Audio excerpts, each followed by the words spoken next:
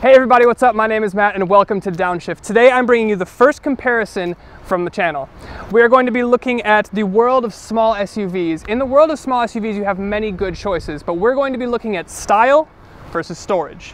For full details on both of these vehicles, please browse my channel. I've got in-depth reviews on both the Volkswagen Tiguan and the Mazda CX-5. Um, but for the sake of this comparison video, we're going to be looking at seven key factors that people shopping in this segment care about. Exterior styling, interior design, quality, cargo space, technology, driving dynamics, and most of all, value. So let's jump into the VW and get started. Hey guys, so we are behind the wheel of the Volkswagen Tiguan. Uh, before we jump into things too in depth, I want to take a minute to thank my friends over at Hall Volkswagen Mazda in Brookfield, Wisconsin for making all these videos possible. They've made not only this comparison video, but also the full review of the CX-5, the full review of the Tiguan, a full review of a 2019 Jetta, and a full review of the Volkswagen GTI possible. So again, great thanks to them. They've been fantastic to work with and they will take fantastic care of you. Um, another thing I want to address right away is you'll notice that I'm not driving during this um, during this video, and that's because you know I want to be sure that I'm being safe. We all love cars, we love to drive, but we want to make sure that we're being safe, and I don't want to be trying to spout off a bunch of facts and be distracted while I'm on the road. So with that, let's jump into exterior styling. So with the exterior styling of this Tiguan, it's really grown in size significantly and it looks to be much more substantial than the previous generation. I personally love the classic boxy classic SUV look to this Tiguan. Um, it gives it a sense of muscularity, uh, ruggedness, and the ability to kind of, you feel like you can take it off road, it's more capable, uh, and things like that. So it just looks tougher than other vehicles in this segment. So for all those reasons, I will give the VW Tiguan a six for exterior styling. Let's move on to the interior design.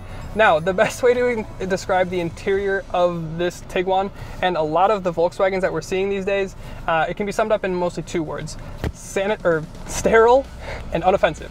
Um, so it's a clean design. It's very subtle. Uh, I don't know if that's what they were going for, but it doesn't call attention to itself. It does have some nice touches. I do like the flat bottom steering wheel.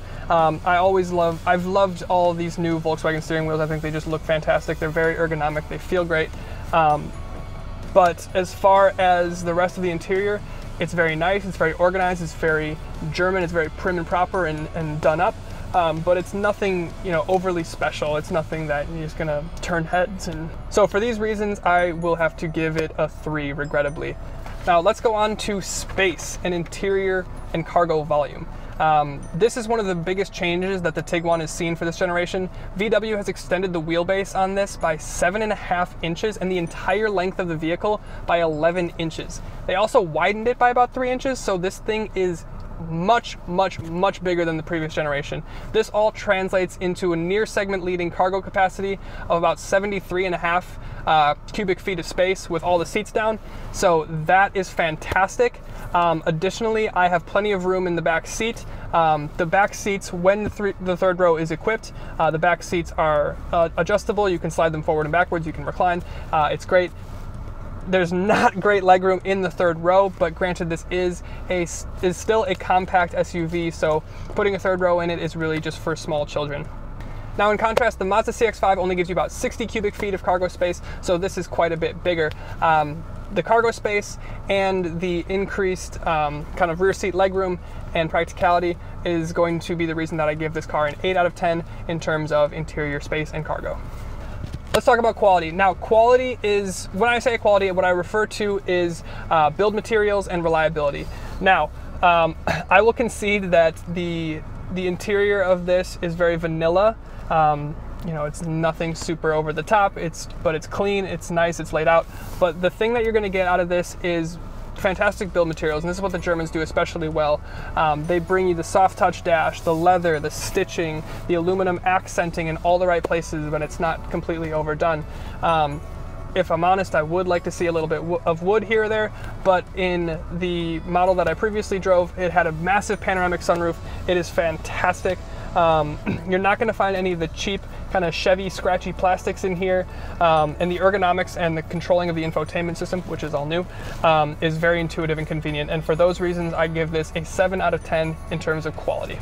Now I want to talk to you about technology. Technology in this vehicle is fantastic, especially on the top SEL trims. You're going to get a massive 12 point inch, uh, 12.3 inch infotainment screen um, in the front here. Um, if you have the VW digital cockpit equipped, which I highly recommend, uh, you'll get another 12.3 inch full digital gauge cluster that's fully customizable up to three people. Um, but as far as the infotainment screen goes, you'll get this in pretty much all trim levels, SE, uh, SEL. Um, not sure what you get in the S, to be completely honest, but it's still a nice screen.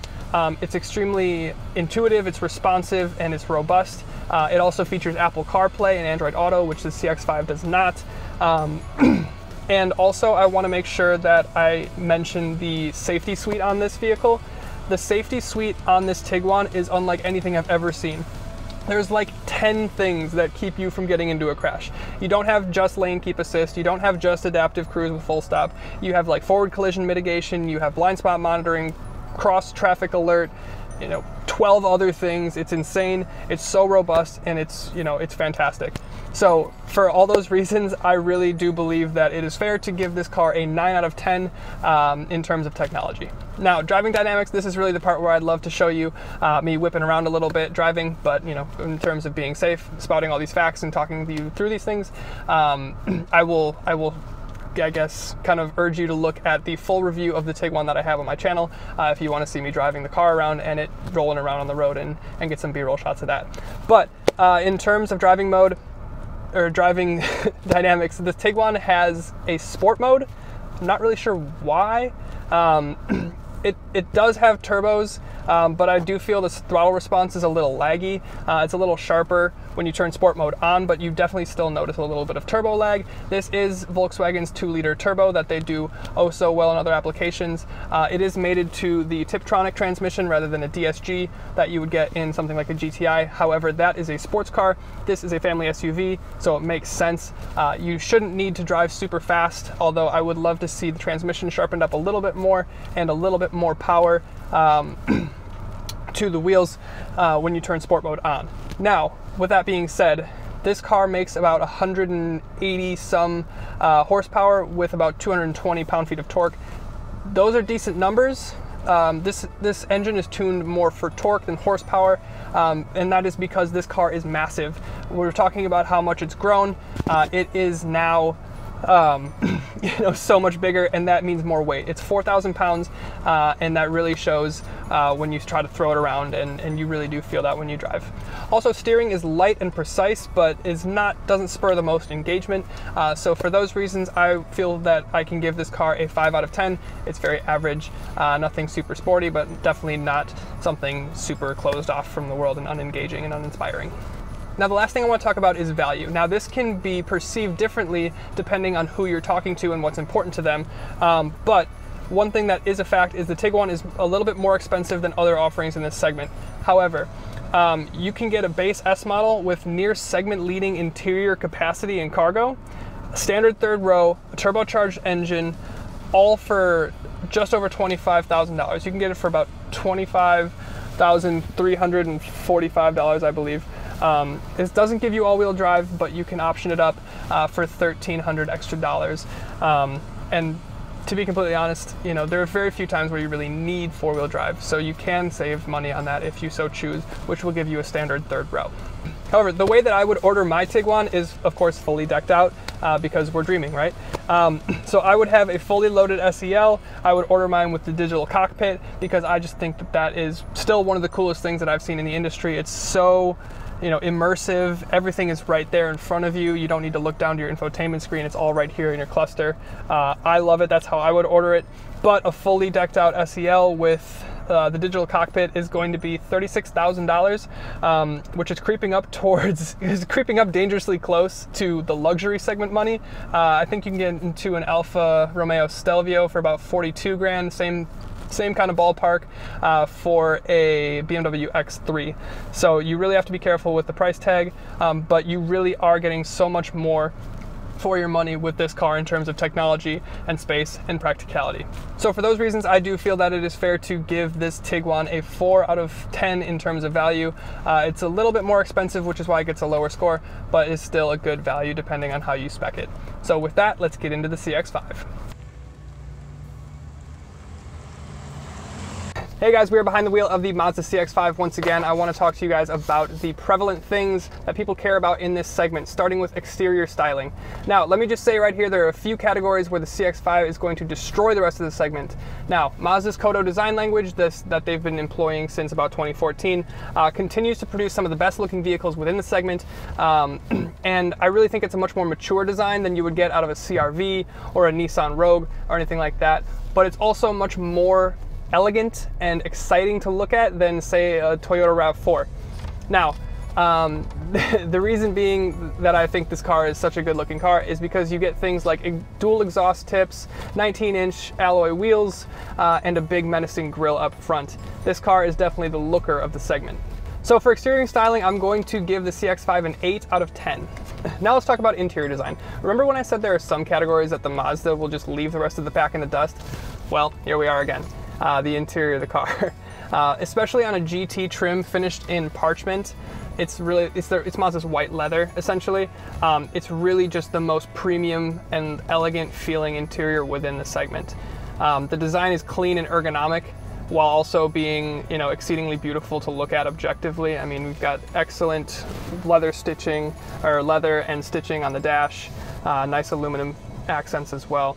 I would like wood if I'm being you know, devil's advocate, but it really is for the segment an extremely, extremely beautiful cabin. Um, my only gripe, aside from you know maybe having wood here or there, is having a bigger sunroof. You get a panoramic sunroof in the Tiguan, and I really think that would be fantastic in this car. So for interior design, I'm going to give the CX-5 a 9. Now let's talk about interior storage. Now, there are some aspects of this car, like I said, that decimate the competition, but there are also some aspects that leave a bit to be desired. So this is what I'm talking about with the uh, interior space and cargo space. So I'm 6'1". Um, I can sit in the back comfortably. However, I wouldn't want to sit in the back uh, for a long period of time. I tend to slouch. I'm maybe I'm just lazy, but my knees would definitely go into the back of the front seat, and that would definitely irritate the driver and passenger. So. Um, a little bit more legroom in the back seat would be nice, although headroom is just fine. Um, but one thing to mention also is that the trunk with both or with the rear seats folded down gives you about 60 cubic feet of cargo space. Now, that is on the lower end of the segment. The Tiguan is going to give you about 75 and a half. So there is quite a bit more space. The trunk itself I think is fine, but once you fold the seats down, that's really where the Tiguan's gonna pull away. So for interior space, I'll give this car reluctantly a three. Let's talk about interior build materials and quality. Uh, the quality, what I mean by quality is really just, um, you know, the materials used within the car, uh, the reliability, just, you know, how well this car is built. So this is the, an aspect of the car that I would consider more aggressively average. The interior materials are exceptional in terms of the leather and the soft touch dash and you know all the stitching everywhere. It's very nice uh, and premium. However, when you close when you do things like close the door you're not going to get that solid thunk that you would in a german vehicle. However if we're talking about german vehicles and we're going to bring up the tiguan um, the tiguan is 4000 pounds. This is so much lighter and you can really tell when you close the door. Now being so much lighter obviously that is going to lend to more fuel economy which we can all get behind so overall, I'm gonna give the CX-5 a six for quality because I think it's much better than something like a Mitsubishi or a Nissan, um, but I don't think it's necessarily German level. So I would put it right on par with a Toyota RAV4 and a Honda CRV. So great, great interior, great quality, um, just not the heavy, you know, kind of solid thunking of the door and the build materials that you would expect from a German vehicle. Now we have to talk about technology, and this is one of the aspects that I believe needs some work on the Mazdas. They're doing some work on it, they're getting better, but there are still some things that I would love to see within this car. Uh, the infotainment system, while it's nice enough, it is getting a bit old. Uh, the infotainment that is equipped in this car kind of came out around 2013-14, uh, and it's getting a little aged. The biggest thing that I think it lacks are things like Apple CarPlay and Android Auto that needs to be standard. It's standard on pretty much everything uh, else in the segment, so that's one thing that I think Mazda falls short on. Additionally, their safety suite, while it is nice, you do get things like adaptive cruise with full stop, you do get lane departure warning, uh, you do get, you know, all that sort of fun stuff, but it's not as robust a safety suite as you would find on the Tiguan. And that is why I think, you know, some of the technology needs to be updated. Uh, a little more robust would be nice. This is the top trim on the Mazda CX-5, so I would love to see, um, you know, more forward collision mitigation, you know, all that sort of stuff. However, Mazda is working on it. Steps are being taken. Um, they're adding the power tailgate as well as heated rear seats, which I think are fantastic. So maybe the Android Auto and Apple CarPlay, which are really my only gripes about the technology, um, will come in a mid-cycle refresh. We can only hope. Let's talk about driving dynamics a little bit. Uh, the CX-5 is equipped with the same 2.5 liter naturally aspirated uh, four cylinder that we've come to know and love. Um, however, it's not overly powerful. You've got about three more horsepower than previous generations. Um, but what it lacks in power, it makes up for in handling and in turns and bends and things like that. This car drives much, or this CX-5, I should say, drives much more like a car than a tall SUV truck kind of thing. So I really believe that that is lending to um, a more sporty and dynamic feel. There is a sport mode which uh, adjusts your gearing to keep you higher in the rev range. So if you need to get on the power and you need to accelerate fast, you're able to do so because you're higher in the torque curve, uh, which I think is fantastic. Um, and I do like that Mazda leaves the sport mode as a, as a hard button right next to the gear selector. So it kind of tells me that Mazda really wants you to use it. They want you to drive it. They want you to have fun. They want you to experience the car. So I really like that they do that for you. Now, the new Mazda 6 gets a turbocharged engine, so if I'm really complaining, I would love to see the turbocharged engine make it into this car and I would love to see how that works out. So for overall, I will give the dynamics and the driving uh, pleasure of the CX-5 a 7 out of 10 because I do believe it is more one of the more fun um, examples within the segment. Now the last thing that I will go into is value, uh, and this can be taken many different ways depending on what's important to you, um, but I personally believe that a decked out CX-5 is a fantastic value. Uh, you get things such as you know heated steering wheel, uh, rear heated seats, adaptive cruise, full stop, lane keep assist, and you know the most luxurious really cabin within the segment, um, in my opinion, and you know a show-stopping exterior. You can get all of that for under 30 grand. You can get all that for 29,650 $45, I believe. Um, so just so you're aware, that is the same money that will get you into a Honda CRV EX trim.